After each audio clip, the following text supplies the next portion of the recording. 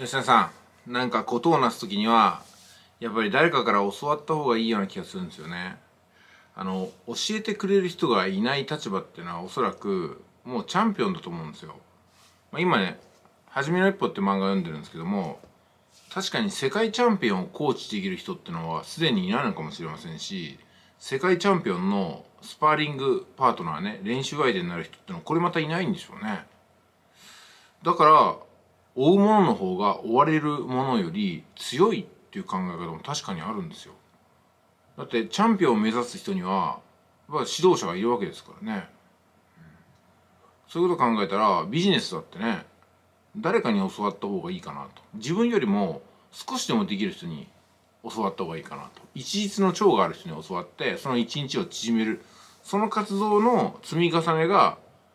大きな実績につながると思うんですよね。だから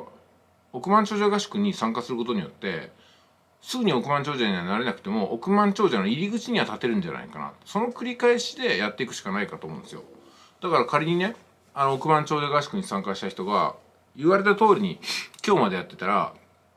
1億円とはいかなくてもね1000万円は絶対稼げてると私は思いますね、うん、まあそのぐらい一緒にやっていれば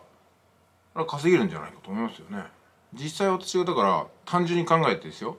億万長合宿が終わってからその後に即価塾に入った人のその稼げた人の合計なんて1000万楽に超えますからねこれは。計算するまでもなく超えますからね。じゃあ仮に億万長者合宿に参加した人が腰を据えて私の直弟子としてねずっとつかず離れずやっていったらそれ1000万ぐらい余裕でいきますよね。いや逆にね3年かかって1000万稼げない人って何なのって話ですよ。これほどテクノロジーが進んで通信速度が良くなって iPhone スマホの様子も良くなってね当時苦労した YouTube のライブがすぐに動画に上がるとこれ今すぐですからね。でみんなの銀行みたいなのも出てくるとかね。暗号通貨の動きも当時よりもかなりいいとかね。で FX の実力も私ついて人に FX を教えれるようになった。もうどれをとっても稼げる要素しかないですよ。